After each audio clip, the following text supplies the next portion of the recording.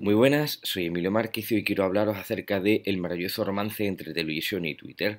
Eh, no se podía esperar la televisión un regalo, una herramienta que la pudiera complementar de una forma tan profundamente rica como es, como es Twitter, habiendo nacido una con décadas de diferencia con respecto a la otra, porque a cualquier eh, eh, productor y director de un programa de televisión le va a encantar el poder decir, somos el trending topic número uno en el país. Es algo muy, muy, muy impactante el poder decirlo en antena, el poder decirlo en tiempo real. Hay que tener cuidado que no todos los programas de televisión van a tener la misma repercusión en Twitter, en cuanto que Twitter es una red social de emociones y emociones muy intensas y de instantaneidad.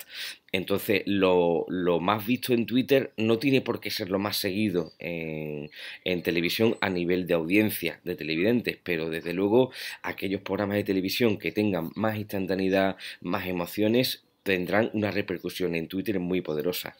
El sumarle aparte el maravilloso eh, regalo de todo free, todo gratis por parte de las televisiones, es decir, vamos a anunciar nuestro propio hashtag, eso es una publicidad gratuita a Twitter que le está viniendo absolutamente genial para eh, poder seguir ganando audiencia. Es más, los usuarios de Twitter eh, que en, un número muy amplio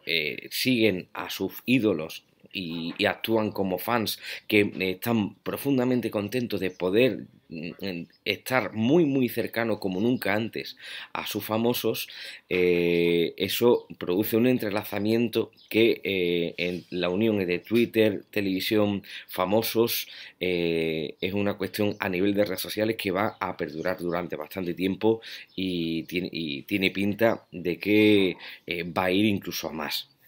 entonces, eh, lo que no podemos esperar por la parte de los famosos es que tengan perfiles en LinkedIn. No suena nada, nada normal. Y es más, el, fan, eh, en, el mejor, en el caso de que entre en otras redes sociales tipo Facebook, Google Plus, a lo más que puede aspirar es hablar con el community manager del famoso. En cambio, en Twitter, el famoso de, turno tiene en su móvil, eh, puede tuitear, puede recibir comentarios, retweets, favoritos en tiempo real y hay tener en cuenta que Twitter engancha y mucho. Entonces, eh, la relación eh, de Twitter, televisión, famosos es eh, prácticamente idílica y respecto al resto de mortales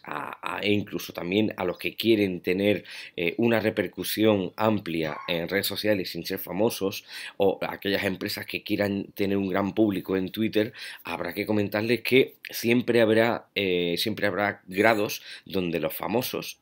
podrán tener una repercusión infinitamente mayor y donde no podemos esperar en ningún momento el de una forma sencilla el tener centenares mil de fans en Twitter eh, sin causar un gran revuelo o que no se produzca em, errores como un efecto Streisand. Casos, eh, me acuerdo de una grandísima multinacional americana de alimentación que eh, de tener pocas decenas de miles de seguidores en Twitter, se produjo un efecto Streisand, una gran eh, polémica por un determinado problema de, censura que hubo relacionado con su marca y pasó en cuestión de 48 horas de pocas decenas de miles de seguidores a tener centenares de miles de seguidores, aunque solo fueran por, eh, por enterarse del morbillo de qué había ocurrido. Entonces, respecto al tema de negocios y en cuanto al resto de mortales, el que Twitter lo utilicemos depende de cuáles sean nuestros objetivos a conseguir. Pero sin duda, el eh, Twitter, televisión, eh, famosos, eso es lo que siempre van a funcionar en ese trío eh, prácticamente virtuoso.